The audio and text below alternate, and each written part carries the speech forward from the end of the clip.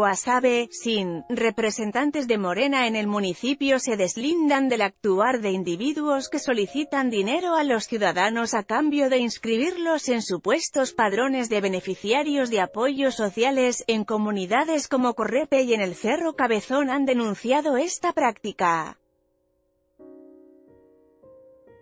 Desconocimiento Jocelyn Hernández Jiménez, enlace distrital de Morena, indicó que han detectado tanto a personas ajenas como a militantes que están incurriendo en estas prácticas. Básicamente lo que queremos es hacer del conocimiento público que nosotros no pedimos dinero a cambio de acceder a algún programa.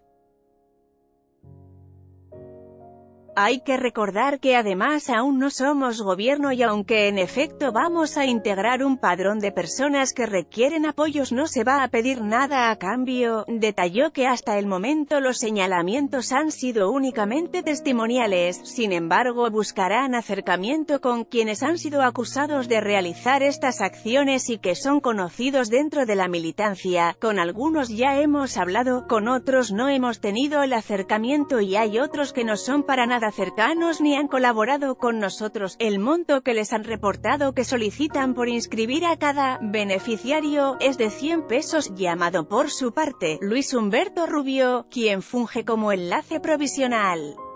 del partido en Guasave, realizó un llamado a los ciudadanos para que en caso de encontrarse frente a una situación de esta naturaleza lo reporten ante los representantes, y si tienen oportunidad, que busquen tomar evidencias para proceder legalmente, como hasta el momento los señalamientos que nos han hecho llegar han sido únicamente testimoniales, no podemos proceder de manera legal o tomar acciones más duras, por eso le pedimos a la ciudadanía que nos apoye tomando fotografías videos o cualquier tipo de evidencia que nos sirva para poner un alto a estas prácticas y que no sigan aprovechándose de la necesidad de la gente. En esta nota, Morena Guasave Apoyos Sociales denuncia